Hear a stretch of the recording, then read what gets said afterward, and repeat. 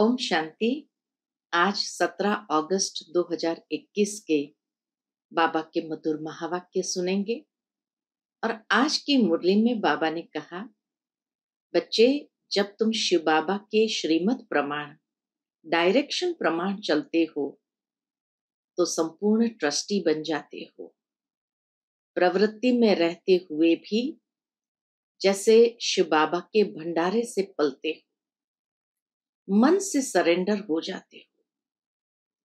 और बाबा कहे, जो शिव बाबा के भंडारे से भोजन स्वीकार करते हैं, उसका हृदय शुद्ध हो जाता है। कहा भी जाता है, शिव बाबा का भंडारा भरपूर काल कंटक दूर। तो हमेशा यही समझना है कि हम शिव बाबा के भंडारे से पलते हैं और इसीलिए संपूर्ण ट्रस्टी होकर के रहना है। सुनते हैं बाबा के मधुर महावाक्य, ओम शांति। मीठे बच्चे, बाप और वर्षे को याद करने में तुम्हारी कमाई भी है तो तंदुरुस्ती भी है। तुम अमर बन जाते हो। प्रश्न है, हृदय को शुद्ध बनाने की सहज युक्ति कौन सी है? उत्तर है कहाँ भी रहो ट्रस्टी होकर रहो। हमेशा समझो, हम शिव बाबा के भंडारे से खाते हैं। शिव बाबा के भंडारे का भोजन खाने वालों का हृदय शुद्ध होता जाता है। प्रवृत्ति में रहते, अगर श्रीमत प्रमाण डायरेक्शन पर ट्रस्टी बनकर रहते तो वह भी शिव बाबा का भंडारा है। मन से सरेंडर है। ओम शांति। जन्म जन्मांतर आधा कल्प बच्चों ने सत्संग किए हैं। इनसे साधु, संत, पंडित आदि सब मनुष्यों का सत्संग है। सब मनुष्य का सत्संग होता है। यह कोई भी मनुष्य का सत्संग नहीं है। शिव बाबा जब आकर पढ़ाते हैं तो यह कोई मनुष्य का सत्संग नहीं है। इसको कहा जाता है रूहानी सत्संग।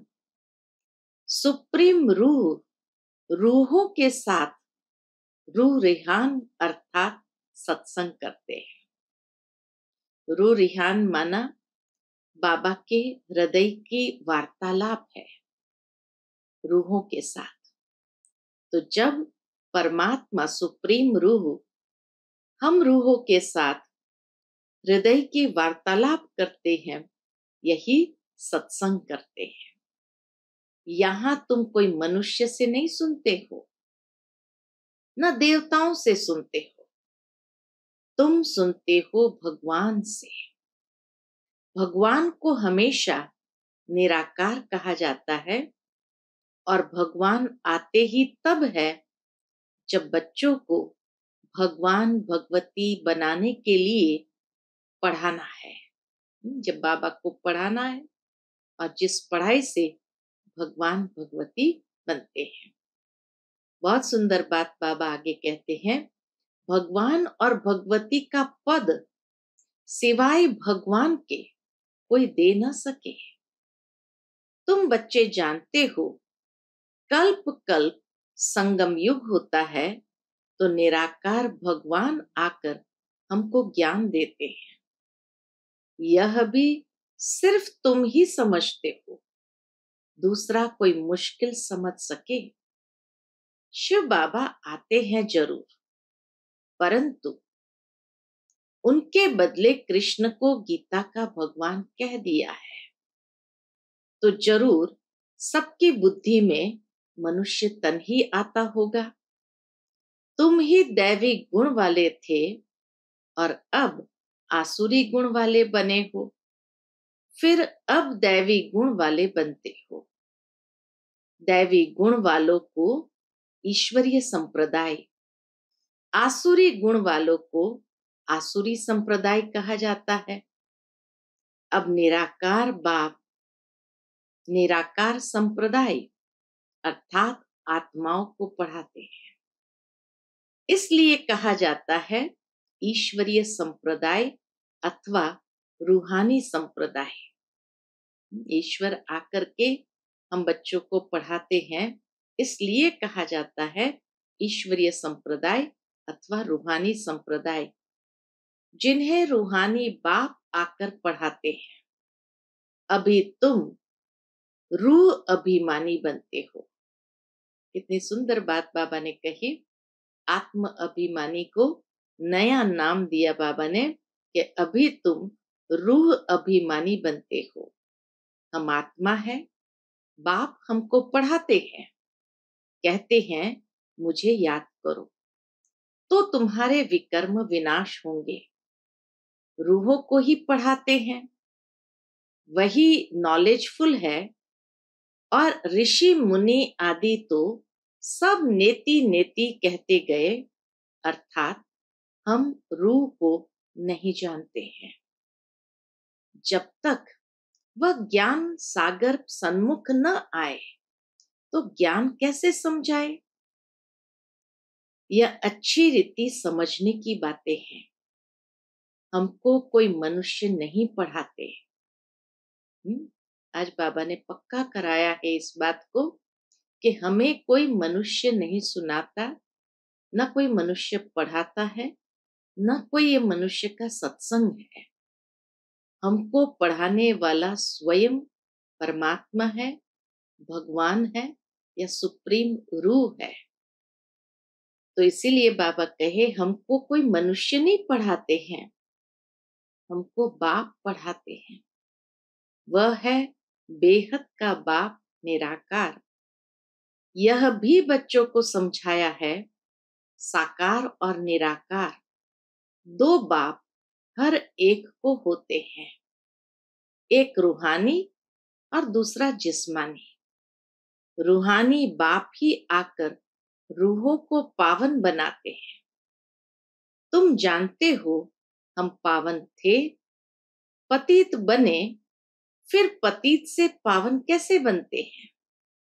चित्र भी सामने है।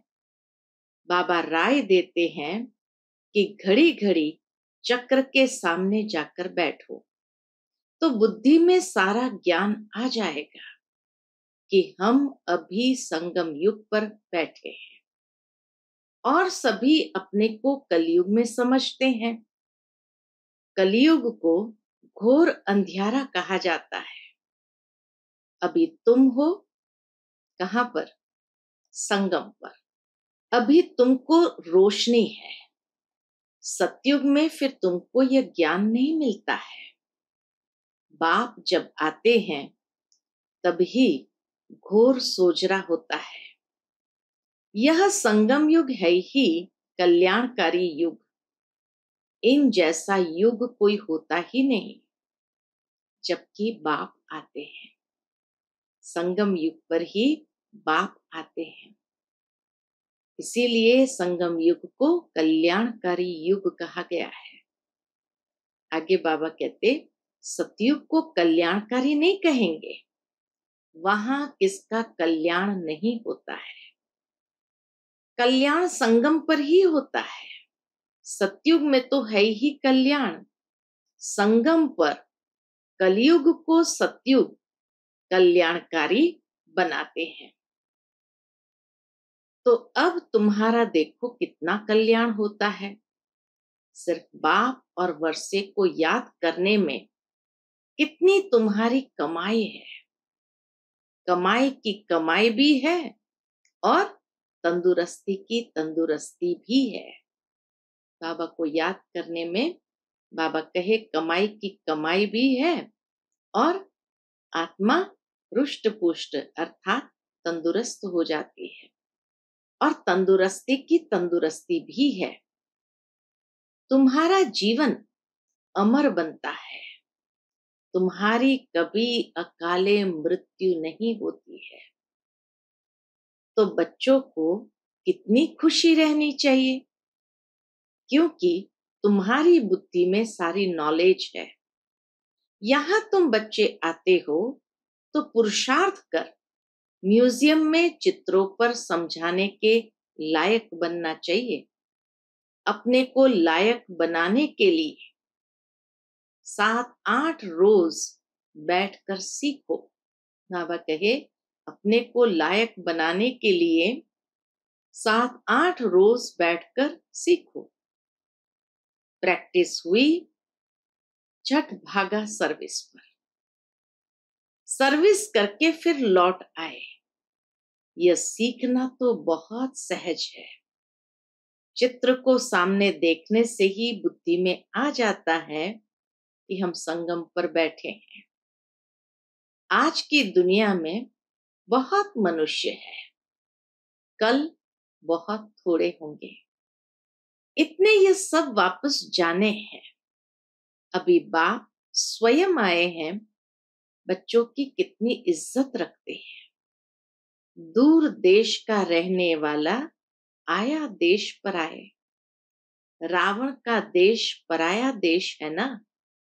राम के देश में तो कभी रावण आ न सके। इस पर एक कहानी अथवा कथा भी सुनाते हैं। जो भी कथाएँ सुनाते हैं, वह सब है कहानियाँ।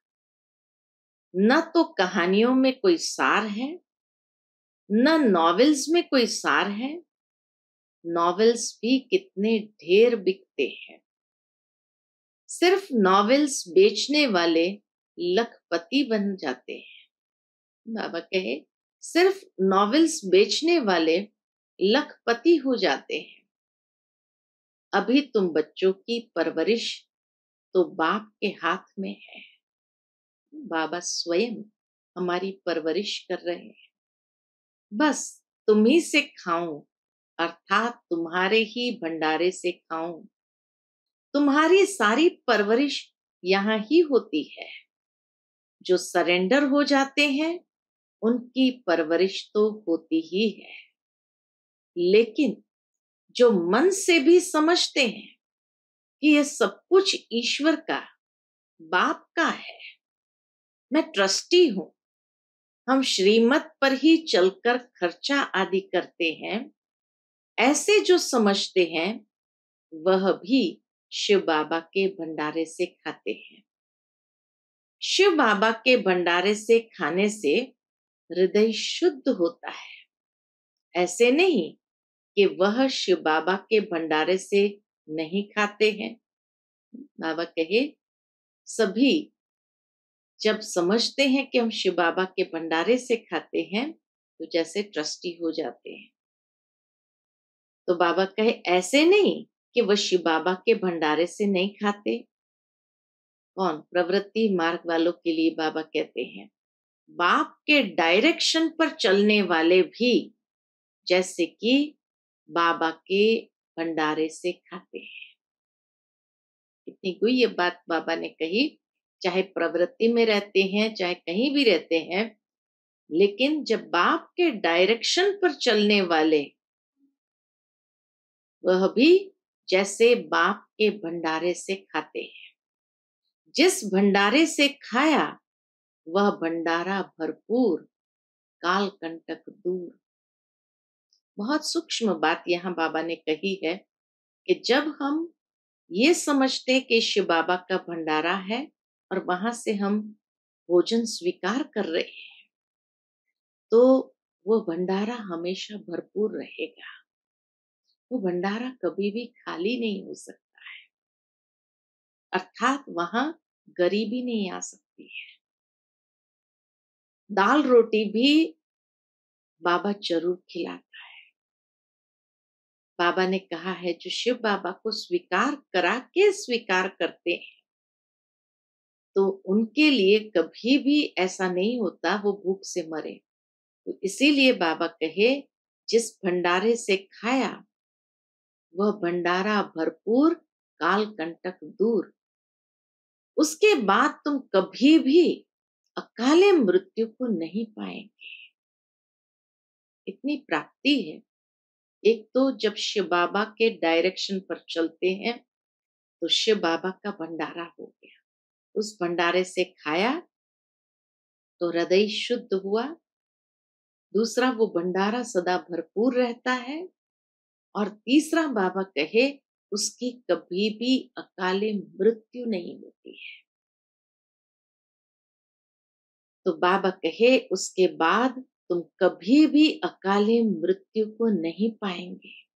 इस समय ही शिव बाबा आते हैं, उनकी महिमा भी गाई हुई है। शिव जयंती भी मनाते हैं, परंतु उनका भंडारा कैसा होता है, यह कोई भी नहीं जानते हैं। बाबा भी बरोबर आते हैं ना? बच्चे जो भी आते हैं, उनको शिव बाबा के भंडारे से खाना मिलता है। अच्छा मेल सरेंडर होता है तो ठीक है, अगर वह सरेंडर नहीं होता तो माताएँ क्या करें? क्योंकि कमाई है पति की। वह तो सरेंडर होता नहीं। वह तो जब आमदनी करे, तब स्त्री खाए। हाँ जोड़ा सरेंडर है तो फिर शिव बाबा के भंडारे से परवरिश हो सकती है। बाबा कहे, जो कपल्स भी सरेंडर होते हैं बाबा के भंडारे में तो जैसे कि उनकी परवरिश भी बाबा के भंडारे से ही होती है। यह बाप बच्चों को अच्छी रीति समझाते हैं। बुद्धि में रखना है, हम बाप के पास बैठे हैं।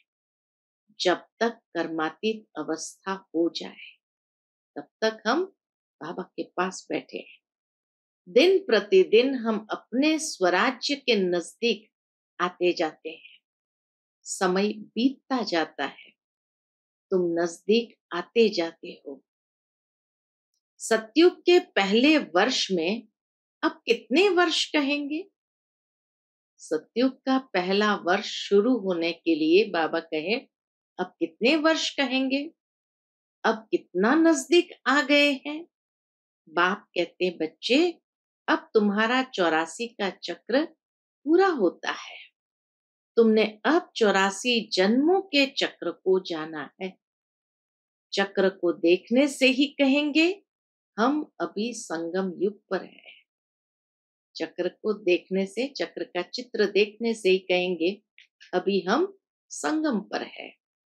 इस तरफ़ है कलयुग, उस तरफ़ है सतयुग। कल हम अपने सुखधाम में होंगे, दुनिया को पता नहीं है। वह तो बिल्कुल ही घोर अंधेरे में है।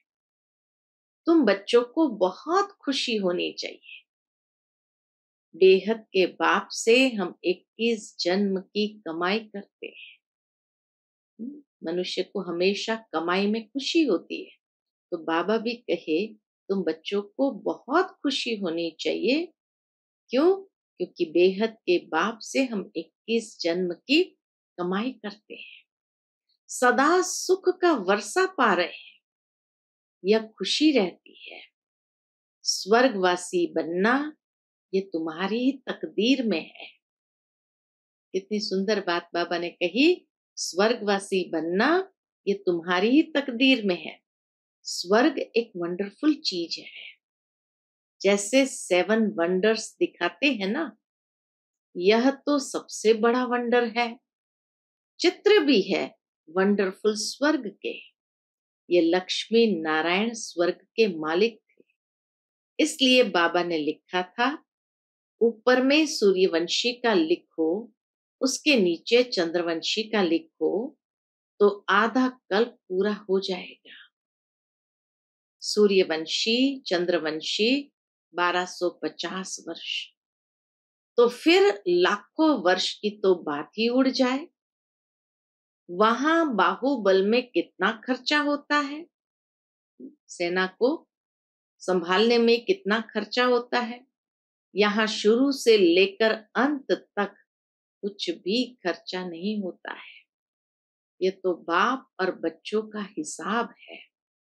खर्चे की बात नहीं, यहाँ बच्चे आकर रिफ्रेश हो, इसलिए मकान आदि बनाते हैं।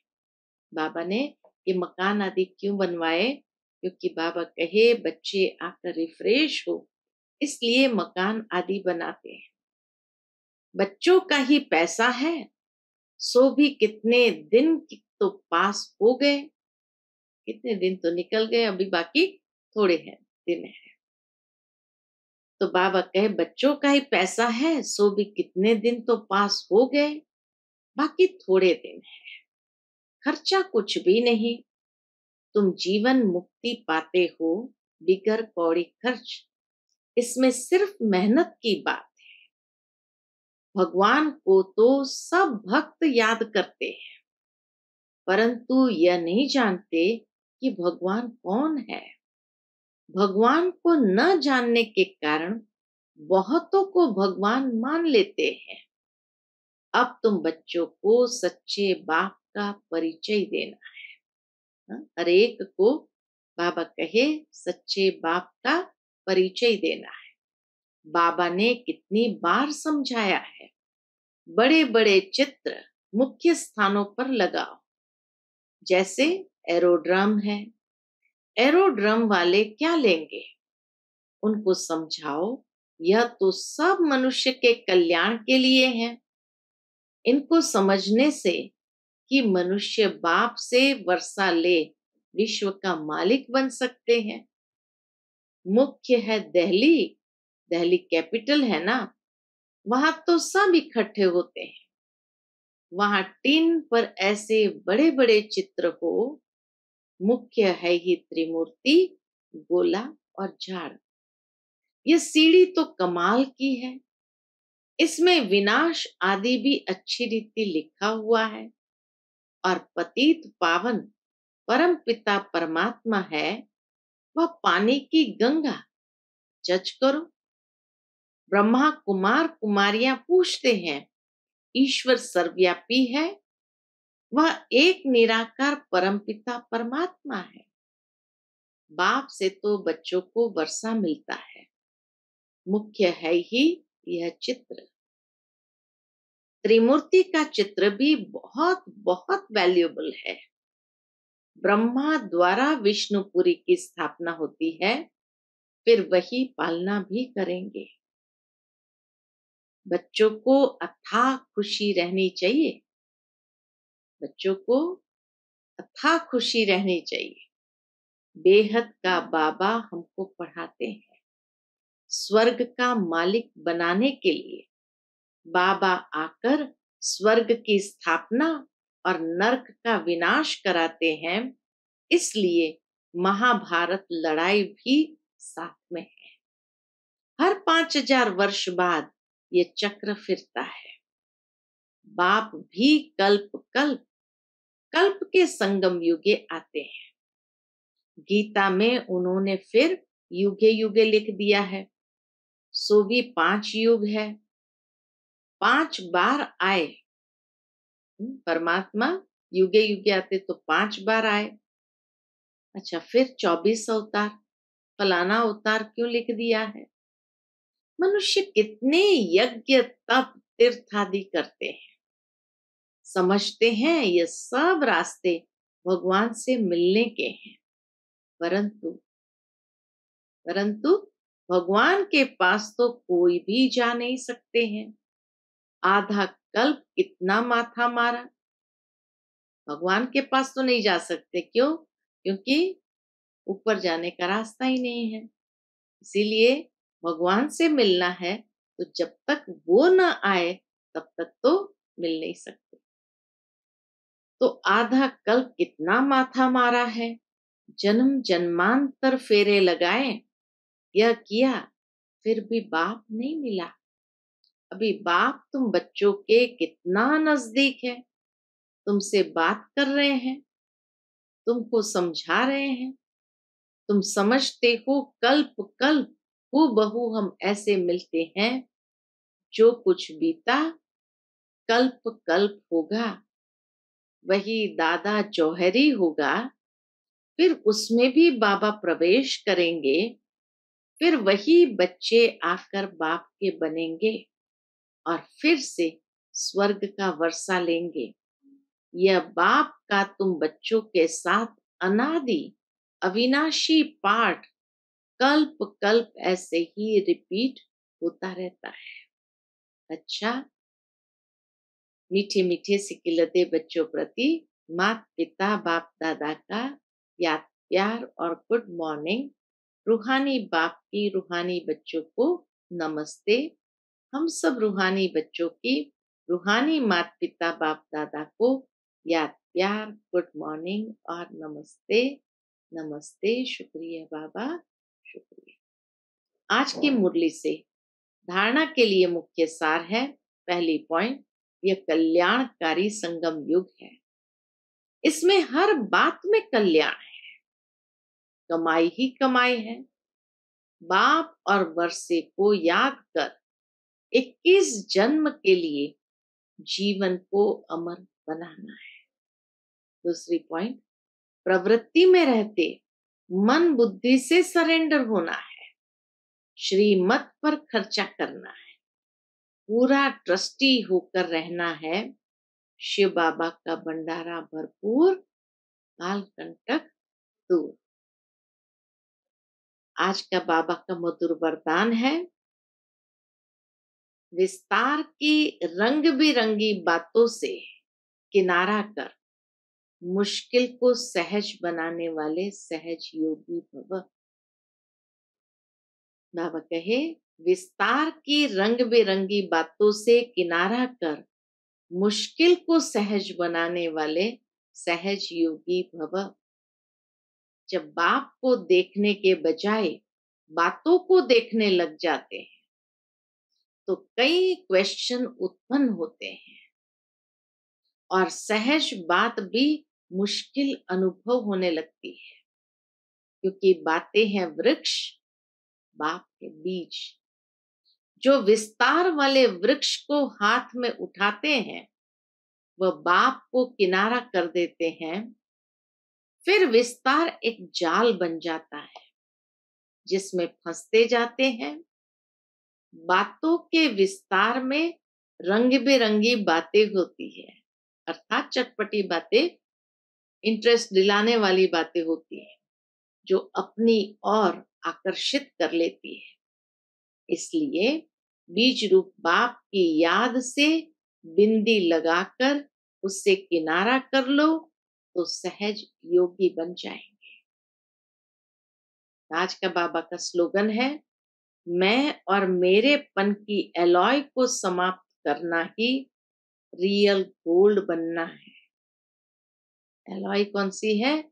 मैं और मेरे पन की एलॉय को समाप्त करना ही रियल गोल्ड बनना है। अच्छा ओम शांति। Watch Peace of Mind channel videos on YouTube, subscribe us on youtube.com slash tvpeaceofmind. Just a click for a peaceful life.